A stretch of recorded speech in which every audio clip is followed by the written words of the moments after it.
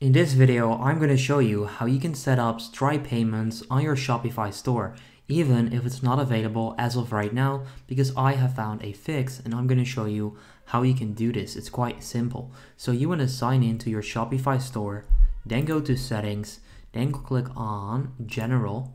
And by the way, I just want to prove that as of right now, I don't have Stripe set up and it's also not showing up.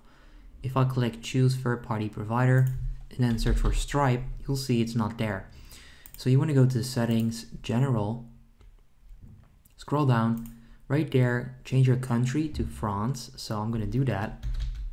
For this, you need to disable or deactivate your Shopify payments. It's pretty simple. Just follow the steps in case you haven't already.